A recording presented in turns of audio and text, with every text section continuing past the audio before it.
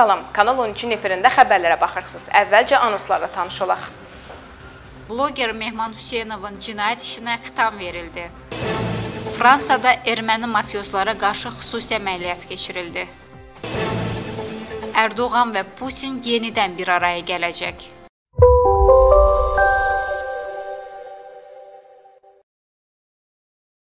İndi isə daha ətraflı. Prezidentin tövsiyəsindən sonra Mehman Hüseynov barəsindəki cinayət işinə xitam verilib. Azərbaycan Respublikası Baş Prokurorluğunun mətbuat xidməti məlumat yayıb. Məlumatda Mehman Hüseynovun cinayət işinə xitam verildiyi deyilir. Bir qrup hüquq müdafiəçisi, eləcə də penitensiar xidmətin 14 saylı cəza çəkmə müəssisəsində cəza çəkən Mehman Hüseynov onun barəsində aparılan istintaqın obyektivliyinin təmin edilməsi üçün dövlət başçısına müraciət edib.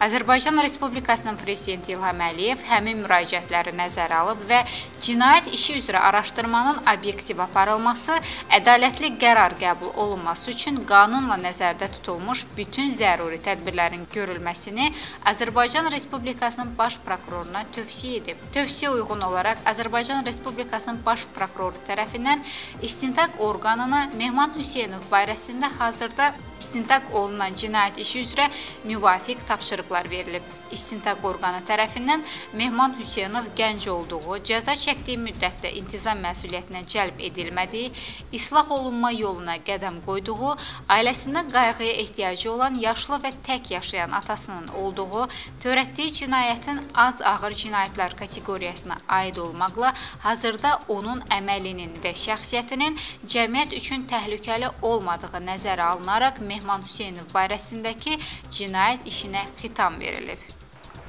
Koçaryanın Forstin am saytına qarşı qaldırdığı məhkəmə iddiası ilə bağlı hökm oxunub. Məhkəmə Koçaryanın iddiasını təmin edib və saytı 400 min dram, yəni 852 dollar cərmələyib. Yerevan Ali Məhkəməsi hazırda həbsdə olan keçmiş prezident Robert Koçaryanın First in Am saytına qarşı iddiasını təmin edib. Bu barədə eks-prezidentin vəkillər komandasının mətbuat katibi Elen Arakelyan bildirib. Onun sözlərinə görə First in Am saytında 2018-ci ilin iyun ayında Koçaryanın 2008-ci il aksiyası zamanı iştirakçılara atəş əmrini verməsi və onlara qarşı qadağan olunmuş vasitələrdən istifadə etmək göstərişi ilə bağlı dərc olunmuş yazılar həqiqət əks etdirmir. Məhkəmə saytda bununla bağlı gedən yazıların yalan olduğu və portalın təqzib verərək üzr istəməsi haqqında qərar çıxarıb. Bundan başqa sayt Koçaryana təzminat olaraq 400 min dram, yəni 852 dollar ödəyəcək. Təqzib və üzr mətni məhkəmə qərarından sonra 2 gün ərzində dərc edilməlidir. Erməni cinayətkar şəbəkəsinin dünyanın müxtəlif ölkələrindəki fəaliyyəti ilə bağlı çoxsaylı faktlara daha biri də əlavə olunub.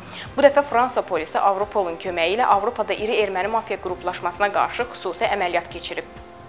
Fransada erməni mafyozlara qarşı xüsusi əməliyyat keçirilib. Cinayətkarların ələ keçirilməsi məqsədi ilə Fransa ərazisində 27 evdə xüsusi axtarış yoxlama əməliyyatı aparılıb. Bu zaman qruplaşmanın yüksək rütbəli üzvlərinin də olduğu əsasən ermənilərdən ibarət 21 nəfər həbs edilib. Əməliyyat zamanı 23 min avro tütün məhsulları və müxtəlif növ 6 odlu silah müsadirə olunub.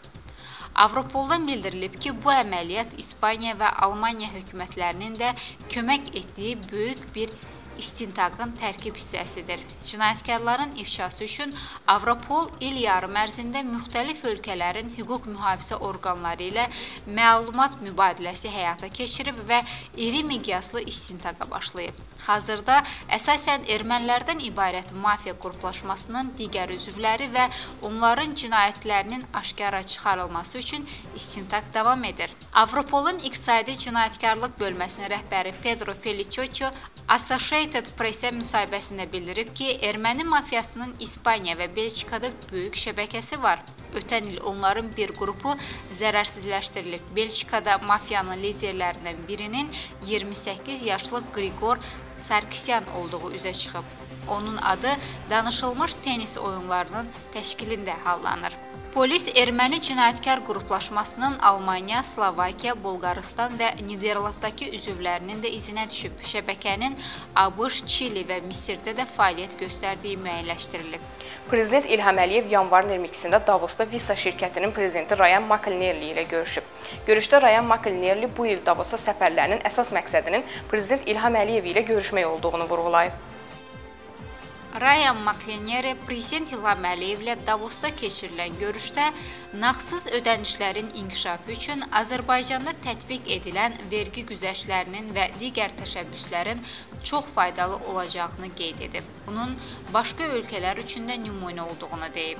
Hazırda Azərbaycanda elektron ödənişlərin aparılmasında Visa brendli kartlardan geniş istifadə edildiyini deyən Ryan, şirkətin ölkədə fəaliyyətinin genişləndirilməsində maraqlı olduğunu, bir çox sahələrdə, o cümlədən ictimai nəqliyyatda da nağdsız ödənişlərin geniş tətbiqinə dəstək göstərməyə hazır olduğunu vurğulayıb. Prezident İlham Əliyev elektron ödənişlərin inkişafı inkişafının ölkə üçün əhəmiyyətli məsələlərdən biri olduğunu və bu məqsədlə geniş islahatların aparıldığını, bu islahatların artıq nəticələr verdiyini, o cümlədən bunun beynəlxalq reytinqdə, məsələn, Doing Business 2019 hesabatında əks olunduğunu, Azərbaycanın bu hesabatda 32 pillə irəliləyərək 57-ci yerdən 25-ci yerə yüksəldiyini bildirib. Rusiya və Türkiyə prezidentləri yanvarın 23-də yenidən bir araya gələcək. Prezidentlər həm təkbətək, həm də geniş tərkibli görüşlər keçirəcəklər. Rusiya və Türkiyə prezidentlərinin növbəti görüş tarixi açıqlanıb. Türkiyə mətbuatının verdiyi məlumata görə Vladimir Putin və Rəcəb Tayyib Ərdoğan yanvarın 23-də bir araya gələcəklər. Ərdoğan sabah Rusiyaya bir günlük işgüzar səfərə gedəcək. Bu barədə açıqlama Türkiyə prezidentinin sarayından verilib. Görüş Moskvada keçiriləcək. İki lider həm təkbətək, həm də geniş tərkibli görüşlər keçirəcəklər. Əsas müzakirə mövzusu isə Rusiya-Türkiyə münasibətləri məsələləri, Suriyadakı vəziyyət, regional məsələlər olacaq. Bu saatlıq bu qədər. Axşam xəbərlərini izləməyi unutmayın.